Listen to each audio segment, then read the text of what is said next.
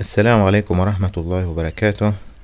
متابعينا الأعزاء من أجل سهولة البحث وإيجاد الدروس من دون تعب قمنا بعمل قوائم تشغيل خاصة بكل صف وسنقوم تباعا بإذن الله ببث جميع الملخصات التي قمنا بإعدادها من قبل ضمن قوائم تشغيل هذه.